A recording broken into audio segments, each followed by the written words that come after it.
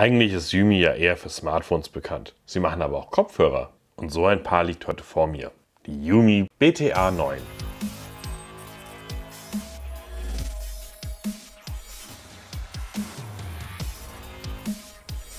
In den Amazon-Kommentaren war zu lesen, dass teilweise gebrauchte Ware verkauft wird. Mein ebenfalls über Amazon geliefertes Sample hat allerdings beide Klebestreifen noch vollkommen drauf. Ich gehe also davon aus, dass ich Neuware bekommen habe. Also schauen wir uns das Ganze mal an. Direkt im Inneren befindet sich das doch sehr futuristisch aussehende Headset. Ich habe das jetzt einmal aus der Verpackung genommen und ganz ehrlich gesagt, das kommt direkt weg. Yumi, die eigentlich bei Yumi Digi heißen, legen noch ein kleines Handbüchlein dabei. Jenes ist nur Englisch und nicht Deutsch, aber immerhin nicht Chinesisch. Das ist ja auch schon mal was. Im Lieferumfang befindet sich noch ein Micro-USB-Kabel. Ein Netzteil ist nicht dabei. Das Headset wird über den linken Kopfhörer geladen. Bevor es mit dem Headset losgehen kann, müsst ihr es natürlich erstmal aufladen. Insgesamt liegen drei Gummiaufsätze dabei. Da müsst ihr einfach mal schauen, welcher euch besser passt.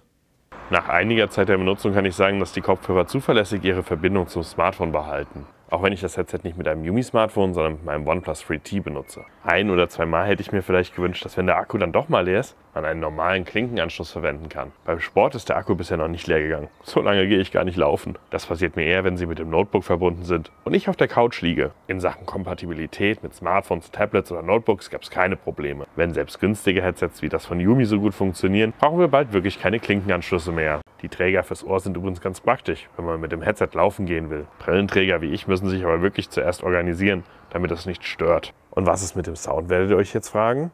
Der ist gut. Jedenfalls 25 Euro gut. Meisterwerke wird hoffentlich niemand erwarten. Eine Soundprobe bei Headsets ist leider relativ sinnlos. Aber hören wir doch mal ins Mikrofon rein. Das Yumi kann man natürlich zum Telefonieren verwenden. Hier könnt ihr mich hören, wie ich über das Yumi spreche.